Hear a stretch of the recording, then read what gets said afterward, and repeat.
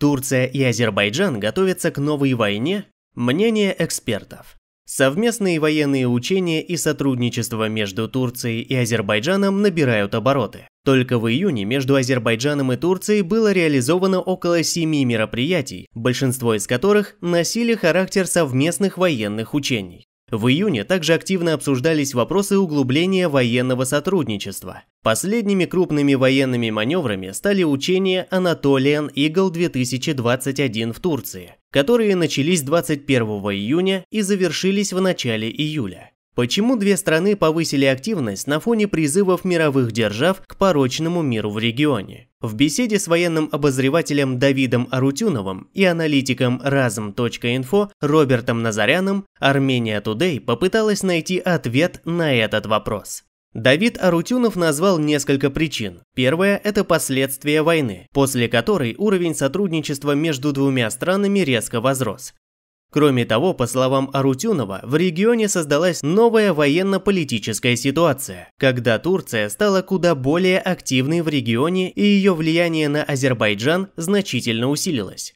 Эксперт считает, что активность в плане учений является логическим следствием вышесказанного. Причем, в некотором смысле можно говорить о слиянии азербайджанской и турецкой армии. По словам эксперта, Турция и Азербайджан отрабатывают совместные действия. Из вышесказанного можно предположить, что они готовятся к каким-то совместным действиям в будущем. Другая цель – повышение боевых возможностей и готовности ВС Азербайджана.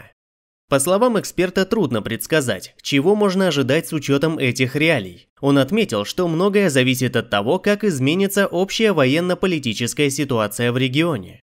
Что касается адекватной реакции армянской стороны, то наш собеседник в данном случае подчеркивает несколько факторов. Прежде всего, речь должна идти о финансовых и экономических возможностях Армении, которые, по словам эксперта, значительно уступают возможностям Азербайджана, а тем более Турции. Он отметил, что армянской стороне в целом следует предпринять определенные шаги, чтобы быть готовой к возможным угрозам и вызовам. Помимо этого, у Армении есть союзник, который не только уступает Турции по своим военным возможностям, но сильнее ее, подчеркнул Арутюнов.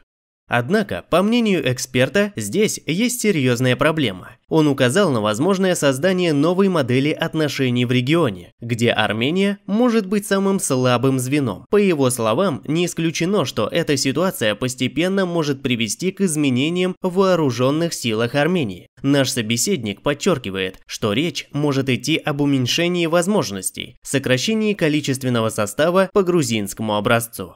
Давид Арутюнов отметил, что Грузия не является самостоятельным фактором в регионе. Ее внешнюю безопасность обеспечивает Запад. У Грузии небольшая армия, которая решает локальные проблемы.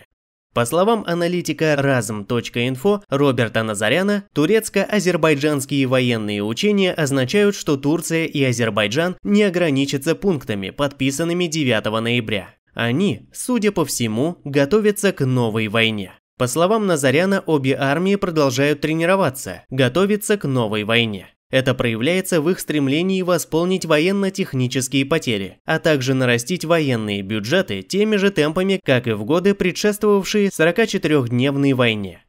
Назарян отметил, что ответ армянской стороны неадекватен создавшейся ситуации. Более того, даже вопрос об устройстве границ в нашей стране спустя 9 месяцев после войны все еще не решен даже на минимальном уровне.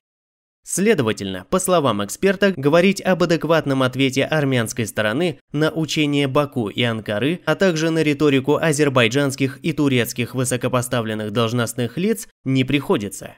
Подводя итоги, Давид Арутюнов отметил, что дальнейшее развитие вооруженных сил Армении во многом зависит от политической, военно-политической, а также геополитической ситуации.